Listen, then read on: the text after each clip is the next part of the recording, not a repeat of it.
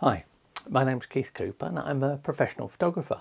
I'm an architectural photographer and I do other stuff as well. But if you ask me photography I do, it's architectural.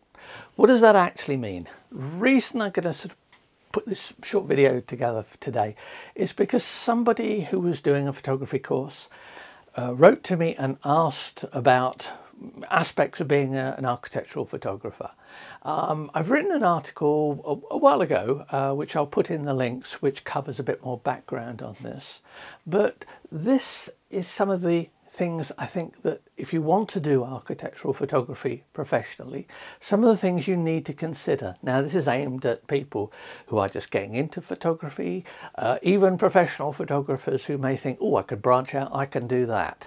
Um, you know, what does it actually take? What does it involve? Um, well, the obvious bit is you know, sort of photographing buildings. Um, that, in a way, is the sort of bit that people think of. Oh, yes, it's pictures of buildings, pictures of striking buildings. Well, first up, as a working architectural photographer, you are unlikely to get that many commissions to shoot genuinely interesting, award-winning, fascinating buildings. Uh, you are much more likely to get to photograph things like this, giant industrial sheds.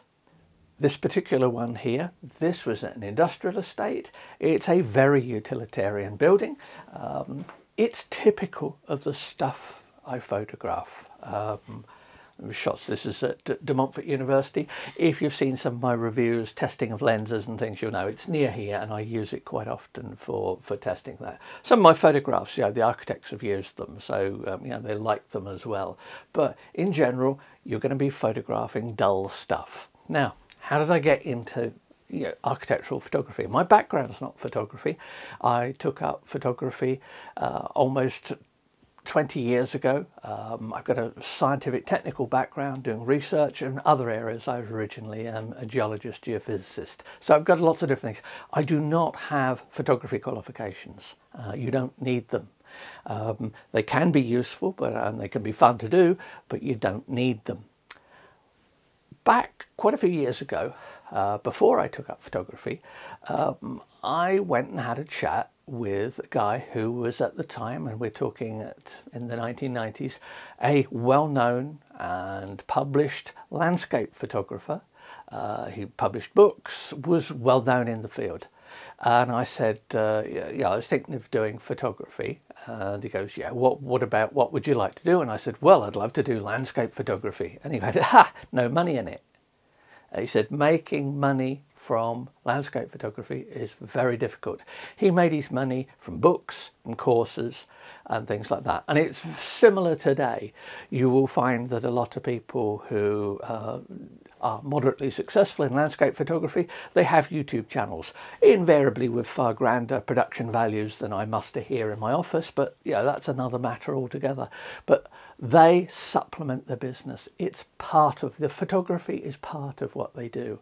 And for architectural photography, it's part of what I do. I'm also an industrial photographer, so I do that. Now, you could say industrial photography, in some ways, it's there's quite similarities to it. In fact, the bits of photography, professional photography that I don't do, I don't do weddings, for example. Um, I'm not particularly great at photographing people. I can do, I, but I have no interest in it. Uh, when it comes to structures, buildings, construction work, mining, anything like that, even dull buildings like this um, and what's going on inside it. Um, that's the sort of stuff that I'm interested in photographing and you need to have an interest in it. So if you want to do in, you know, architectural photography as part of your work, you need to have an interest in it. And you need to have an interest in how to make a dull building look interesting. If you can take a nice photo of a very bland, dull looking building, you've got some of the knack that's needed for it. Ah.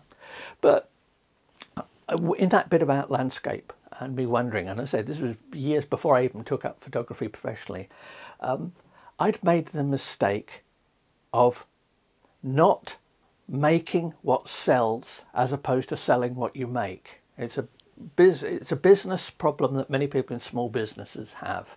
um, crafting, all kinds of stuff like that. Whereas you have, and, and selling prints. Now, I've done lots of videos on the business of selling prints and stuff like that. But essentially, it is about making stuff that people want to buy rather than making the stuff that you want to make and then hoping that somebody buys it. There's a very big difference for it, and that comes into architectural photography as well. You've got to produce the shots that people want. Different people buy it. So you need to know, much as in selling prints, who buys architectural photography? Who commissions architectural photography? Well, the key for that is to follow where's the money in it. The money in it is usually in the developers so to be the developers of a site like this, they will want photos. You might think, oh, well, architects, they'll want photos. But most architects are not that wealthy. Um, you, you tend to get this idea of the big, rich architectural practice. Some of those do indeed commission photography, uh, but it is far less often than you think. And I'll come back to commissioning photography uh, a bit later. But uh, in general, a lot of architects I know can't afford to get pictures like this unless they're doing them for they're building a website and they just want a few nice pictures for it. Um, I'm a member of the RIBA and I know quite a lot of architects. So, you know, I will go out and I will do some photos and I'll, I'll get them some photos for it and I'll take them some nice photos of jobs. Most architects, by the way, also work on dull, tedious projects. Um, there, you know, there may be some interest in them, but they are not award-winning buildings. Um, people get a, a, wrong idea about architectural photography and think that it's all about photographing stuff that looks great and has won awards and things. It is not. It is far from it. The bread and butter of it is photographing ordinary stuff and making it look interesting.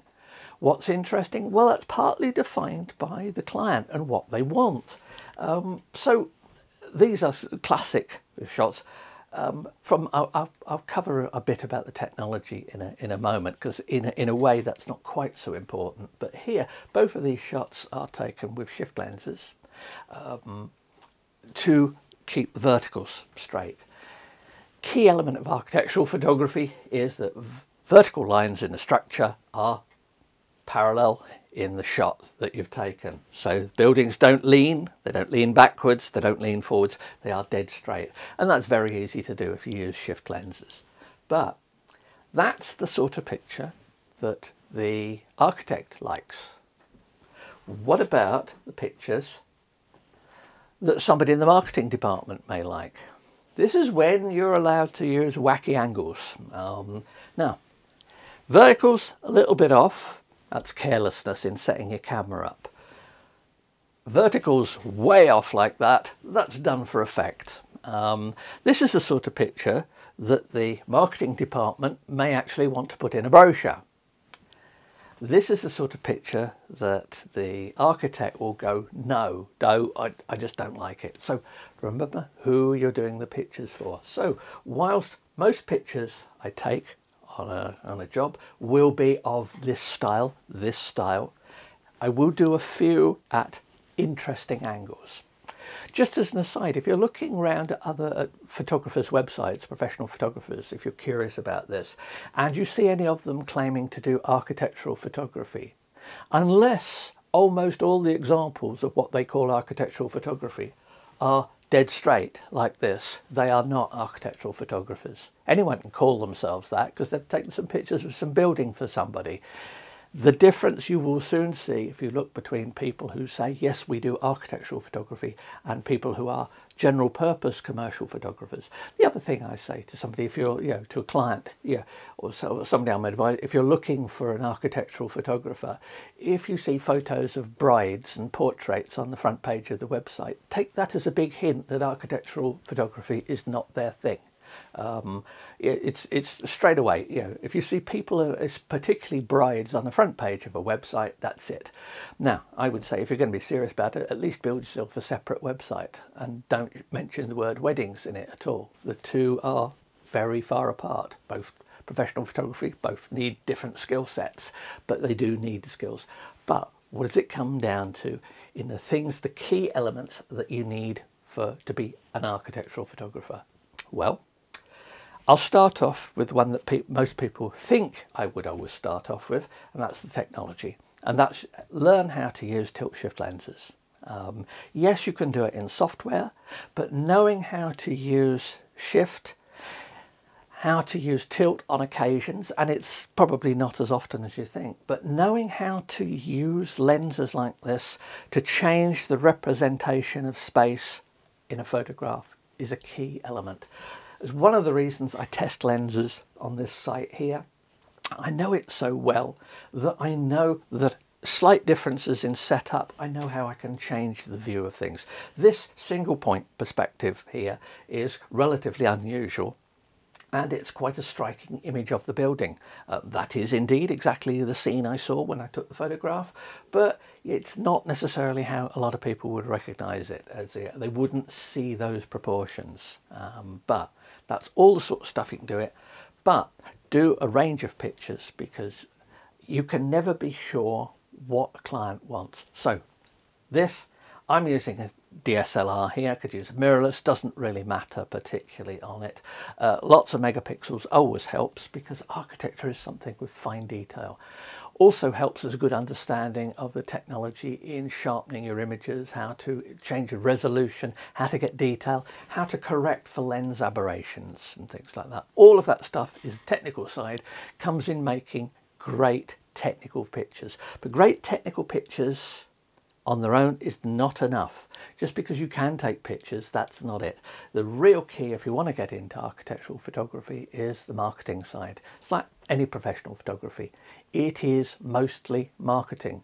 The fun bits are when you go out and take some pictures, usually. And the dull bits are when phoning people around are just chasing things up to try and get. It's the marketing that makes it work. The marketing is in a way what turns it from an interesting hobby into a proper job. Um, that's it. If you want to be an architectural photographer, you want to be a professional photographer, learn and understand all elements of marketing. Um, I know it doesn't seem fun, but that is what gets you the work and it makes a real big difference. Another area I'm going to mention on it is technical, evolving technical changes. Be ahead of the game. Now, I don't use drones um, I do have a 28 foot or 8 metre mast, elevated mast for photography.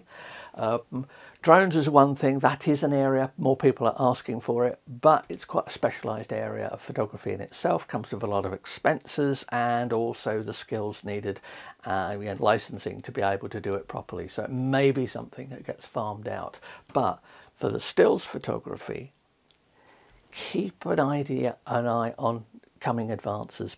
So basically, um, I, you know, I nominally can retire in a few years, so I haven't got to worry too much about this.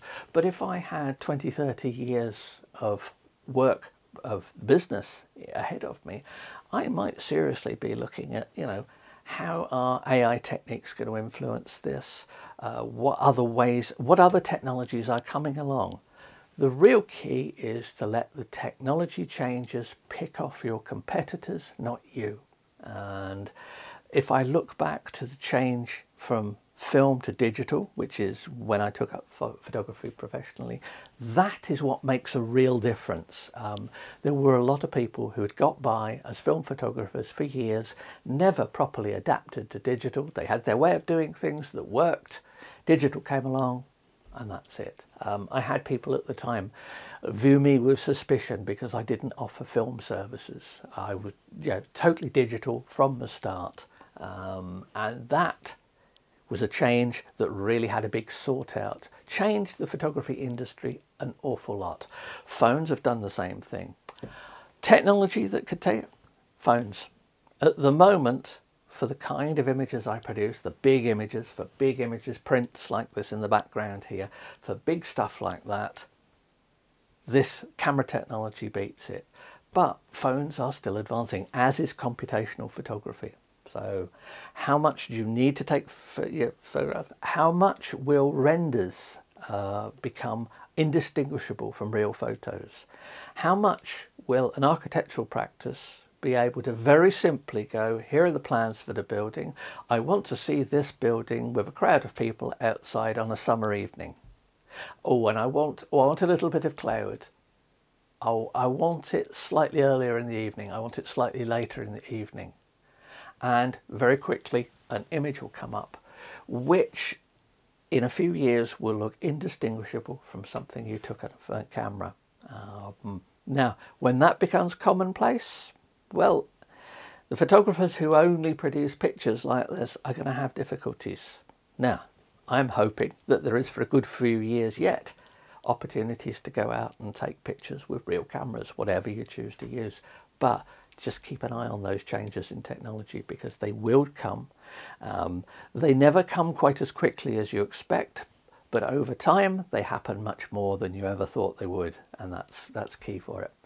And one last little bit about architectural photography. If you look in magazines like the RIBA Journal and various other Architecture Today and things like that, you may get an idea that architectural photography is lots of grand pictures that look great. Look at the people. There are only a few people who do them. Architectural photography is very much at the high end based on who you know to get you the work. Your technical ability counts for a little in it. It may have counted a little earlier on, but at a certain point, all the people getting key architectural photography jobs of big projects and things like that are people who know the right people to get asked. Now, does that render all of the stuff I've said up to this point irrelevant? Of course it doesn't. Um, I get asked this. I may only get asked to photograph a shed um, somewhere, but it's a nice looking shed. It was a nice day, and the people with the shed who built the shed were very happy with it. Just set your limitations initially, but remember that when it comes down to it, if you want to go far in this business, as it stands at the moment, notwithstanding what I said about technological changes, um, doesn't do you any harm to get to know people in the business. And remember that where the money is in development and things, that's where the commissions come in. Um, there's not that much money at the lower end of architecture. So keep it as part of your overall business. Be prepared to change. And there you go. Um, would I take up architectural photography today if I was 25 years younger? Yeah, I think I probably would. Um, yeah, almost certainly because I enjoy doing it. That's the other bit do something you enjoy. Anyway, hope this video has been of some use. Uh, please feel free to ask questions. Please subscribe to the channel if you found it useful. It's appreciated. And uh, thanks for watching.